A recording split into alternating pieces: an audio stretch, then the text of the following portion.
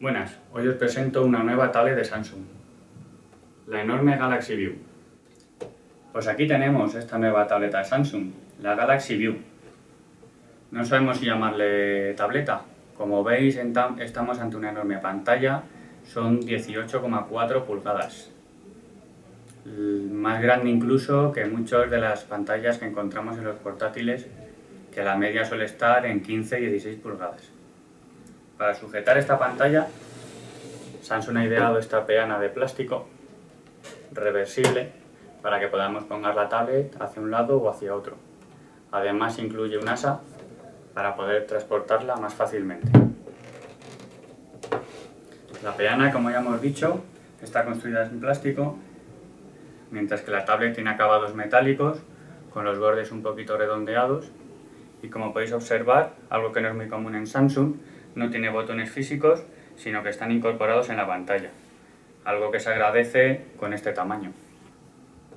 Si nos vamos al lateral izquierdo, podemos encontrar la entrada de los auriculares, el puerto micro USB y la entrada de conexión de carga, que en este caso es una mini clavija redonda.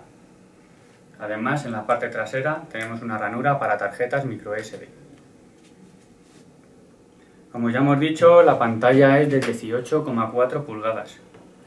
Tiene una resolución Full HD, lo que sería lo mínimo aconsejable para este tamaño de pulgadas, si no ya apreciaríamos demasiado el píxel.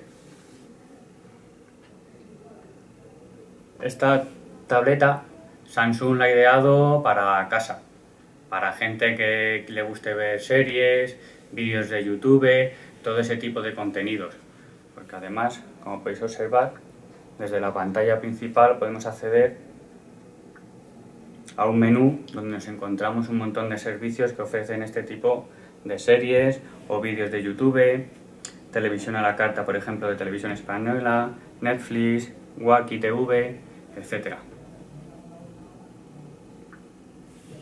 Para mover esta pantalla y todas las aplicaciones, Samsung ha elegido un procesador Exynos de 8 núcleos a 1,6 GHz, junto a 2 GB de RAM, lo que va a hacer que podamos ejecutar juegos, cualquier aplicación, etcétera, de forma muy fluida. Otro asunto a destacar es el hincapié que pone Samsung en que ejecutemos los juegos, además de con la tablet, con un dispositivo Bluetooth como un mando para poder trabajar como si tuviéramos una consola en nuestras manos. Juegos, por ejemplo, como el GT Racing, pues funcionará muy bien si asociamos un mando por Bluetooth y poder manejarlo desde el propio mando. Lleva incorporado, si podéis observar, Android 5.1.1, que es la última versión del sistema Lollipop, además de la última versión de, de TouchWiz. En almacenamiento que se refiere tiene 32 GB de memoria interna y como ya hemos dicho antes se pueden ampliar hasta los 128 GB. Además de esto incorpora una cámara frontal de 2,1 megapíxeles y que podemos grabar vídeos con resolución Full HD.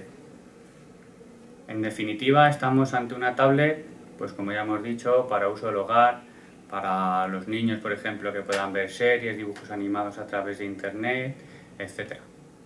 Y nada, si os ha gustado esta tablet, pues podéis tener más información en la página web de House o en cualquiera de nuestras tiendas. Un saludo.